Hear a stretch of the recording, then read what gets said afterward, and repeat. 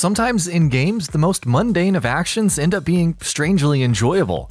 While no one will play these games because of these segments and can often be little more than ancillary mechanics or distractions, the action ends up being strangely fun regardless. Here's a list of 14 such things that shouldn't be fun, but for some reason are. Camp Chores, Red Dead Redemption 2. The Van der Linde Gang's camp for a large part of Red Dead Redemption 2 is an excellent place to just hang out. From picking up quests and side quests to playing some mini games and various activities to just chatting with your fellow gang members, there's a lot to do in the camp. One other thing you can do is, well, chores. Picking up a loft of hay and slowly walking it across the camp to horses' feeding spots, filling up a bucket of water and bringing it to Pearson's table, chopping a bunch of firewood. It's all the very definition of mundane and really doesn't require much activity on your part as the player. But for some reason, every now and again, it feels oddly fun to do just a bunch of chores around the camp. Of course, the Deadeye bonuses, for whatever reason, are an obvious boost. Cooking Food The Legend of Zelda Breath of the Wild. Breath of the Wild's focus on survival mechanics is one of the many ways it differs from its predecessors. It's not a survival game by any means, but it does have a few survival mechanics that play an important role. Cooking food and experimenting with all of the resources and materials you have at your disposal is quite important because of the bonuses or weather resistance effects or additional health the results might lead to. But also, it's a strangely fun activity to indulge in. Randomly throwing various materials together into a dish and seeing what final products you come up with is oddly enjoyable, Way more than it sounds, at any rate. Rowing the Boat, God of War. A good chunk of God of War is spent just rowing your boat around the Lake of the Nine, the hub area for the game. Very easily, such a task could have become repetitive and frustratingly boring, but God of War makes use of its strength in writing and characters to prevent that from happening. These boat rides are often accompanied by some smartly written conversations between Kratos, Atreus, and later on Mimir. While Mimir's own knack for storytelling and just his personality in general also make each conversation worth looking forward to. Lab Puzzles Spider Man. We get it, when we're playing a game based on Spider Man, we want to play as, well, Spider Man, and anything that cuts into that feels like lost or wasted time. Insomniac's open world title is amazing, but it has some moments that do just that. But occasionally, going back to Peter's lab and doing some of the lab puzzles manages, for the most part, to be a nice little distraction.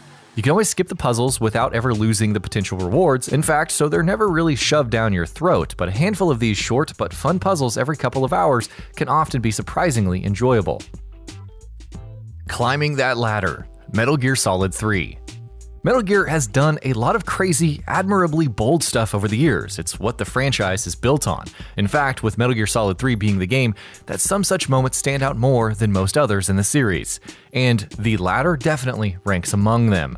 That ridiculously long ladder, which you see Snake climbing for upwards of two minutes, you have nothing to do but hold up on your analog stick the entire time. But the entire sequence of Snake climbing that ladder is accompanied with the Snake Eater song playing in the background. It's weird and shouldn't be fun, but it's awesome. Catching Bugs Animal Crossing. Picking out any single activity from the Animal Crossing games for a feature such as this one is tough, because the entire series is built around the mundane. You plant trees, you catch bugs, you go fishing, you dig up fossils. It's all utterly simplistic, and viewed in isolation should be completely dull, but it all works together fantastically. Bug catching in Animal Crossing, however, can often be good enough to stand on its own. It's hypnotically fun, and catching all of the rarest bugs and selling them back in town for large amounts of money to then upgrade your house and town in New Leaf can be a dangerously addictive loop. Farming Stardew Valley much like Animal Crossing, Stardew Valley is a game that is built around a collection of mundane activities, though it does have some decidedly not so mundane stuff to do as well. First and foremost, it is a game where you build up and manage your farm, and while activities such as tilling the soil, planting seed, watering your plants, and then harvesting them are mundane by definition, they collectively form an oddly addictive and compelling loop.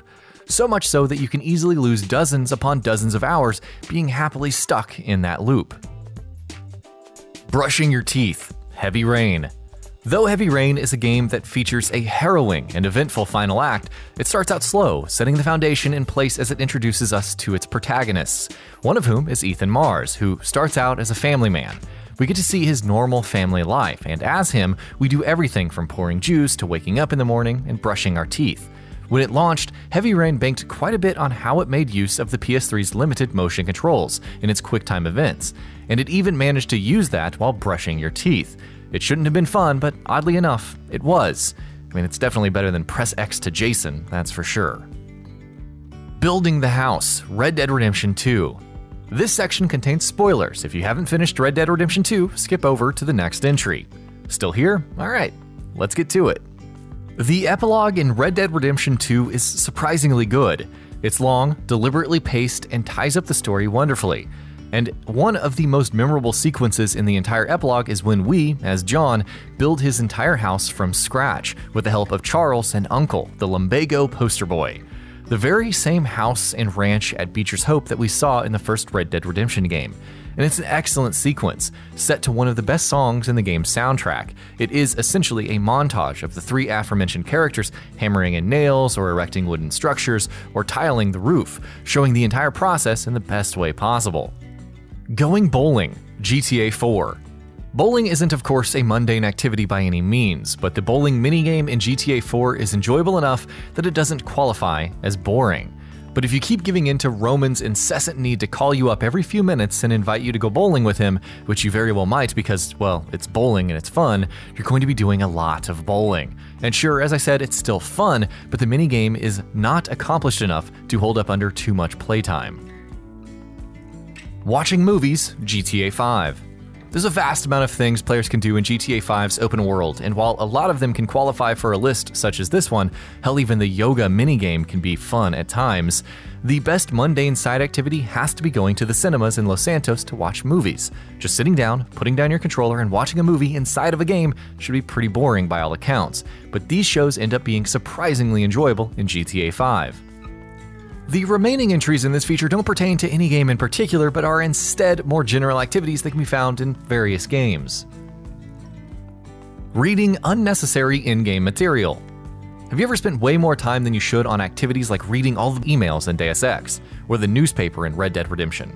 It's not something you have to do, the game doesn't ever really direct you to do it, it's just there. But reading this stuff can be a lot of fun for many, many reasons for world building, for character development, for adding context to the story, or just being well written and enjoyable on its own. Fishing. Fishing has for some reason been a prominent side activity in games for decades. Franchises like Zelda, Far Cry, Grand Theft Auto, Pokemon, Red Dead Redemption, and Final Fantasy are just a few of the many, many examples. And for some reason, it can be a lot of fun at times. It's a lot of waiting around, which intermittently leads to a short minigame or even just the press of a button at the right time. So it shouldn't be anything but boring. But it is. It's boring, but it's fun, kind of like real fishing. Opening up taps in Hitman. Agent 47 can be quite the smart operative. He can take down his opponents in several different ways, whether it be choking the hell out of someone, pushing someone over the ledge, or disguising himself as a waiter and killing his enemies with the help of poison. But nothing gives us more satisfaction than entering a restroom and luring your opponent by opening up taps. It's an extremely mundane task, but fun nonetheless. And that about does it for this video. If you enjoyed what you watched and want to see more from Gaming Bolt, you can always hit that subscribe button and turn on the bell icon next to it. That way you will never miss any of our videos.